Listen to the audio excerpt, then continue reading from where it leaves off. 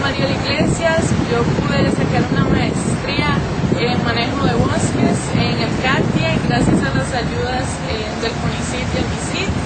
Eh, bueno, el apoyo de esta organización me permitió hacer una investigación interdisciplinaria y poder visualizar problemáticas tradicionalmente forestales dentro de contextos más humanos, más sociales,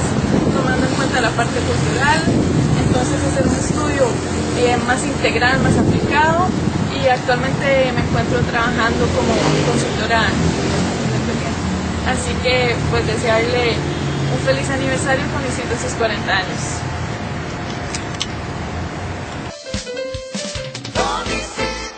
Por medio del CONICID el país invierte en ciencia y tecnología, financiando proyectos de investigación y desarrollo, formación de recurso humano especializado, infraestructura de avanzada y difusión y extensión de resultados. Esto es posible gracias